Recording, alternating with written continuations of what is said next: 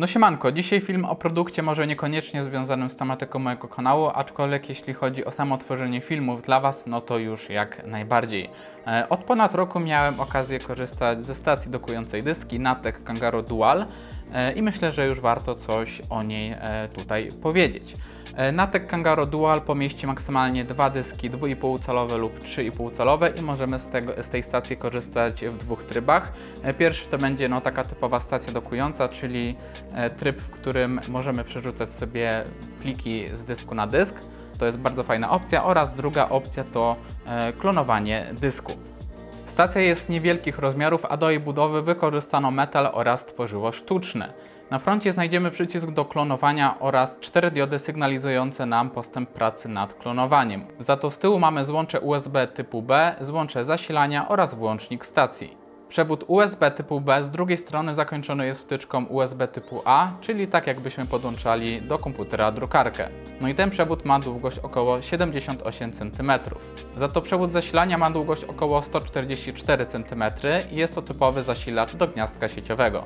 Góra przeznaczona jest na montowanie dysków 2,5 oraz 3,5 calowych. Stacja obsługuje plug and play oraz hot swap, czyli nie ma potrzeby instalowania sterowników oraz dyski działają od razu po podłączeniu do stacji. Maksymalna obsługiwana pojemność dysku to 8 TB.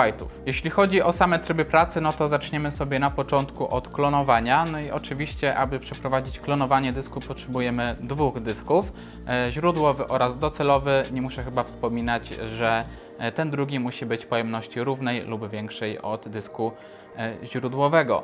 E, Ważne jest to, żebyście wiedzieli, że klonowanie to nie jest takie typowe kopiowanie plików.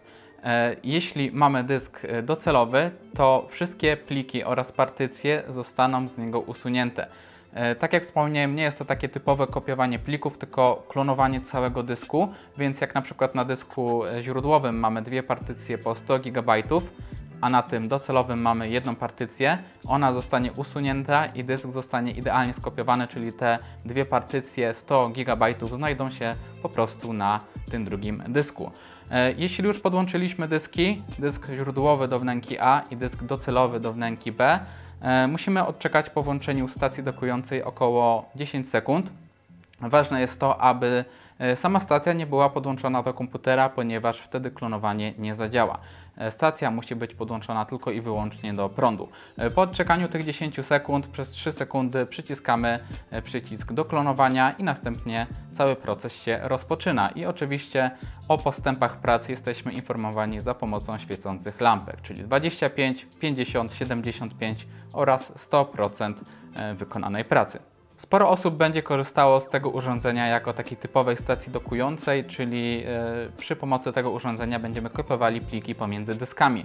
Jest to bardzo przydatna funkcja, jeśli nie chcemy co chwilę podłączać dysku e, do samego komputera do złączy SATA e, oraz dla użytkowników laptopów z pewnością będzie to wygodne rozwiązanie. Ja tak naprawdę korzystałem tylko z tej opcji, bo nie miałem potrzeby klonowania żadnego dysku. Robiłem tylko to na potrzeby sprawdzenia tej opcji oraz e, wykonania tego e, materiału. Także jeśli chodzi o samo kopiowanie dysków, pewnie zastanawiacie się, znaczy kopiowanie plików e, pomiędzy dyskami, zastanawiacie się, czy podłączenie pod USB e, 3.0 w jakiś sposób wpływa na szybkość transmisji w porównaniu do trybu SATA. E, No i wykonałem testy na dwóch dyskach. Pierwszy to był Samsung 840 EVO, 128 GB, czyli już dosyć leciwa konstrukcja e, oraz Crucial MX500 e, 1 TB, czyli już konstrukcja trochę nowsza. E, No i jeśli chodzi o zapis odczyt sekwencyjny, no to tutaj dużych różnic nie było, ale w przypadku trybu USB ucierpiały niestety trochę zapisy i odczyty próbek 4K, e, ale myślę, że nie będzie to aż tak bardzo odczuwalne, bo samo kopiowanie przebiega tutaj w bardzo fajny sposób. To, co mi się zdecydowanie nie podoba w tym trybie kopiowania plików, to to, że każde podłączenie czy odłączenie dysku powoduje rozłączenie wszystkiego i załączenie ponownie. Czyli na przykład macie podpięty jeden dysk, kopiujecie sobie coś i podłączacie w międzyczasie drugi i niestety wszystko zostaje rozłączone i załączone ponownie. E, Może być to dosyć uciążliwe.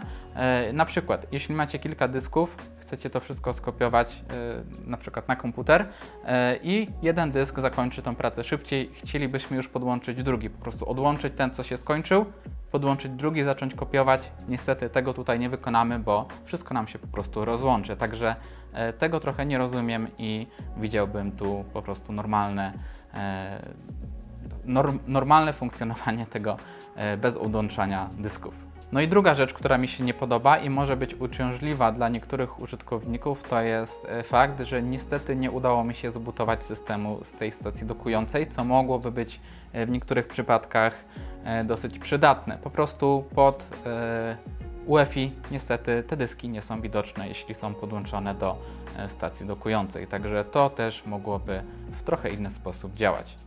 Podsumowując, jest to przydatne urządzenie, które kupicie już za około 130 zł. Jest ono dobrze wykonane. E, No i pytanie, czy warto? I to już zależy od Was, co tak naprawdę będziecie robić, e, ponieważ jak będziecie kopiować dużo dysków i chcecie zaoszczędzić czas, no to niestety przez to odłączanie dysków podczas e, kopiowania, podczas zmieniania tych dysków, niestety to urządzenie dyskwalifikuje pod względem takiego właśnie zastosowania. Ale jeśli co jakiś czas tylko trochę tych plików przerzucacie z dysku na dysk, no to urządzenie będzie bardzo przydatne. Przypadku samego kopiowania, klonowania tego dysku, no to też tutaj tą funkcję spełnia po prostu poprawnie i nic tutaj e, więcej dodać nie trzeba. Także sami ocencie, czy ten produkt spełni Wasze oczekiwania. Myślę, że wszystko na temat tego produktu, co było do powiedzenia, to e, powiedziałem. I to wszystko ode mnie na dzisiaj. Do następnych filmów. Na razie. Cześć.